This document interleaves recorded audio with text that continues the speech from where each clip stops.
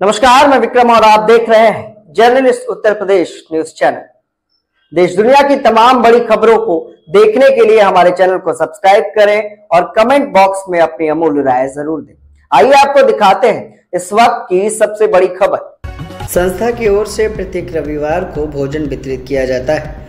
लखनऊ में Indian helpline society द्वारा संचालित ब्रज की रसोई में आकंचन और सहाय लोगों को भोजन प्रसाद वितरण का कार्यक्रम निरंतर चल रहा है। इस कड़ी में रविवार को सोसाइटी की ब्रज की रसोई के माध्यम से आशियाना सेक्टर जे स्थित साई मंदिर एवं बंगला बाज़ार के चंद्रिका देवी मंदिर परिसर में गरीब असहाय और बच्चों को भोजन के पैकेट वितरित किए गए।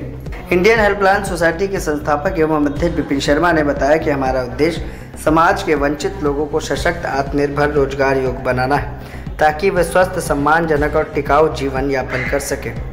यह अभियान जनहित में चलाया जाता है ताकि क्षेत्र का कोई भी गरीब भूखा न सोए। इस जनहित अभियान को सफल बनाने के लिए आपके सहयोग की आवश्यकता है ताकि यह निरंतर अभियान चलता रहे। संस्था के संरक्षक अध्यक्ष विपिन शर्मा ने बताया कि संस्था का उद्देश्य प्रतिदिन रसोई चलाने का है।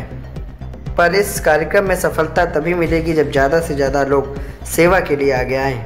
संस्था चाहती है कि रसोई प्रतिदिन एक बजे से तीन बजे तक चले, जिसमें रोटी सब्ज़ी, सूखी सब्ज़ी, दाल, चावल परोसा जाए। मगर इसके लिए सभी को आगे आना होगा। यह पुनित कार्य कोई भी अकेले नहीं कर सकता। बिना सेवा के इस तरह के कार्यक्रम सफल नहीं होते। आप पंजवियों में देखिए कि किसी ना किसी तरह से वह सेवा करते हैं। और हमारे यहाँ लोग सहयोग से तो दूर और डराते धमकाते हैं कि, नाम ना रखो ऐसा, ना करो। वैसा ना करो, बदनामी हो जाएगी, लाछन लग जाएगा। अरे हम कौन सा चोरी का कार्य कर रहे हैं जो बदनामी हो जाएगी? लाछन तो प्रभु रामचंद्र जी पर भी लगे थे। राज भोजन में दाल चावल का वितरण है।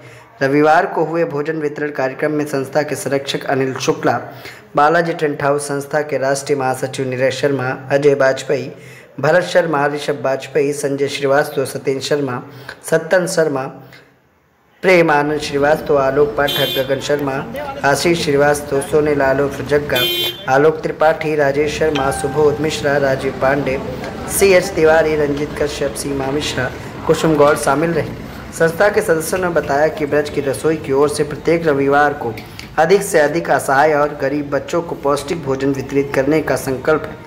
यह कार्यक्रम कोरोना काल के दौरान से चलाया गया था, बाद में इसको बंद कर दिया गया था, लेकिन फिर से पुनः संचालित किया जा रहा है।